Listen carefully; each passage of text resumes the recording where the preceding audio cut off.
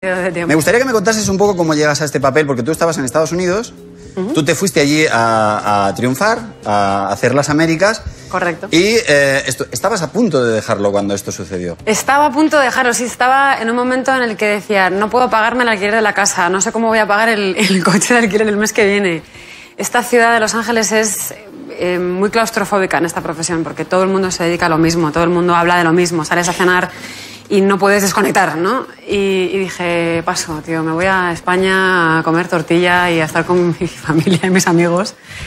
Y, y bueno, eh, navegando esa, esa corriente, me llega una prueba para un- una película Espera un como... momento, que me- es que me he quedado pillado en la parte de que en Los Ángeles todo el mundo va a lo mismo. Todo el mundo va a lo todo mismo. el mundo habla de lo mismo. Quiero decir que tú vas a un restaurante y allí todo el mundo quiere ser actor. Todo el mundo quiere ser actor. Eh, los camareros son actores. Eh, igual te encuentras a una camarera que te las encontraron en un casting el día anterior o, o tú vas a una prueba y te encuentras a siete amigas que acaban de hacer la prueba que vas a hacer tú.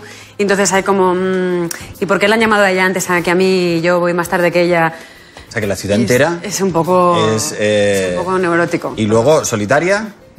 Porque al final- Hipersolitaria, porque Hipersolitaria. Nueva York, es donde yo llevo viviendo muchos más años, que voy en bici a todos sitios, Los Ángeles es métete en el coche, aíslate, eh, estate 45 minutos para quedar a comer con un colega no se sabe dónde, Sí. métete en el coche y otros 45 minutos para ir a una prueba no sé, otro qué, no sé qué otro sitio.